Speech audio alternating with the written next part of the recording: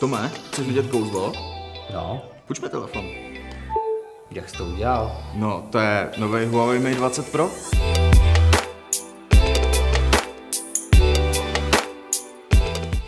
Huawei Mate 20 Pro je další novinkou letošního podzimu a my jsme se ho nemohli dočkat.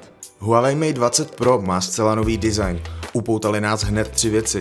Jako první je to čtyřbodový fotoaparát, hned po něm je to Full View Display se zaoblenými hranami a v neposlední řadě červené zamykací tlačítko, které je takovým rozpoznávacím prvkem u všech barevných provedeních smartphonu.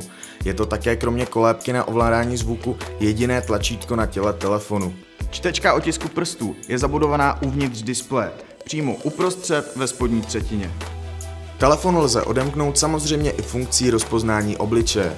Na Full View displeji je vše neuvěřitelně krásné a výkon telefonu je prostě parádní.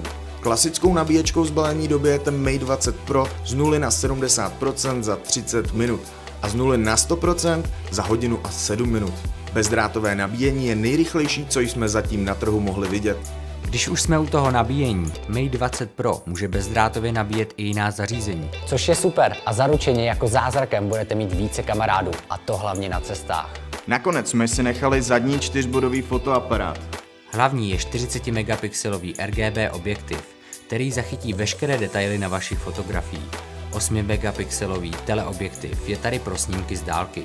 Třetí 20 megapixelový objektiv fotí parádně makra a krajiny.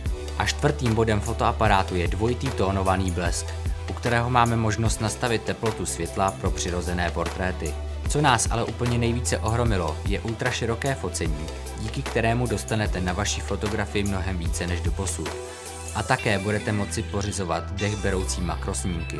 No a jako vždy, když vidíme, že má telefon označení IP68, tak ho musíme hodit do vody. Huawei Mate 20 Pro je opravdu super a přináší několik originálních vychytávek. Nám se tahle novinka od Huawei moc líbí. A co si o něm myslíte vy? Napište nám do komentářů.